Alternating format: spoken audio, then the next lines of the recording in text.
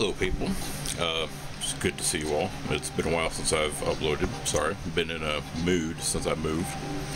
Anyways, um, my mom asked me.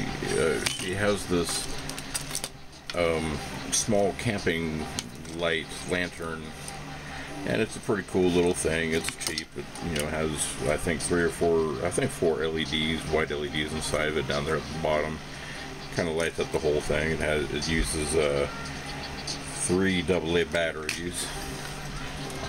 I have the idea of possibly using an 18650 battery and throwing it in there in a, a charger circuit.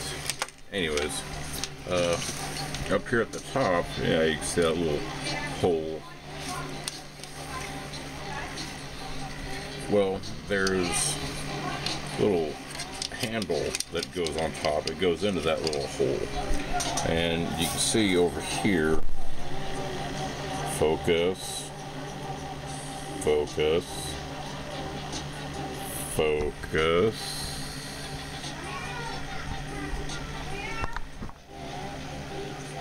Focus.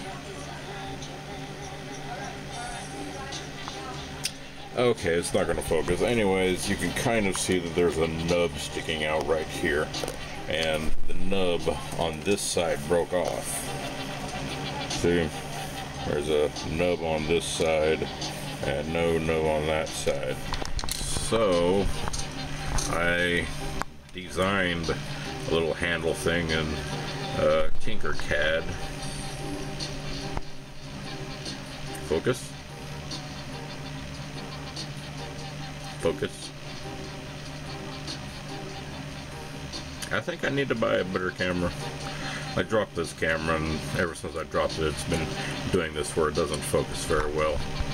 Anyways, so uh, anyways you can see my little nubs are on here. Oh wow it's focusing. You can see my little nubs are on here. Well so I made it and then I started printing it out and this is it. It looks really great on this side, smooth edges and everything like that, but on this side, wow, it's focused pretty well. That uh, nub sticking out this part, when it was printing it, it didn't seem to be like it was printing this piece as a piece, a whole piece with the rest of the handle and everything it seemed like it was printing this separate, so I thought that maybe it wasn't joined, but whatever, it seemed to be joined well enough. It uh, freaked me out because I thought it wasn't joined, and so I stopped the print. And so it has these little, uh, they, they call them trihexagons. The Jewish Star of David is actually pretty strong structurally. That's pretty awesome. I wonder which one's stronger, this uh, uh, tri what trihexagon thing, or a or a uh, or a regular hexagons, like a like a bee's honeycomb pattern. Anyways, so I freaked out and stopped the print, but it actually fits inside there really well. Hold on a second. I'm gonna put this inside of here. I don't know if you can see this or not. Okay, I'm gonna stick that inside of there. Stick this, stretch it a little bit so that this one goes, stretch it a little bit so that this one goes inside of here. There. Ah. All right.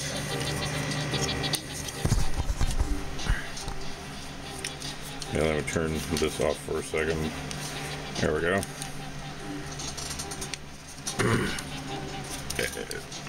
so it works. It works. I was uh, going to reprint it and uh, make, you know, that big beautiful thing, but I actually had this idea that mom's actually pretty cool. She'll probably just tell me that it works right now, so this is good enough. And uh, so I showed it to her, and she said, "Oh, hey, it works. It's awesome." And, and uh, I told her that I messed up and only printed half of it. She said, "Well, it still works. It does the job." So awesome. We've got a little printed uh, handle on there. So here's one of very few times that uh, a 3D printer actually helps out with uh, something in the house. I, I, yeah, on the homestead.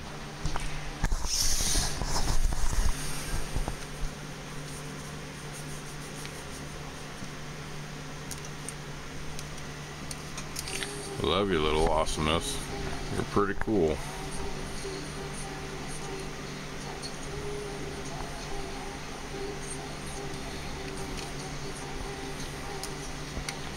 How many times have I flipped this back and forth in this video?